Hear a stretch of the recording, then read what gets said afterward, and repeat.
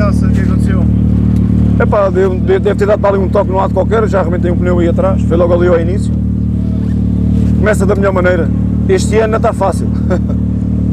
Vá, boa sorte para logo. Tá, obrigado.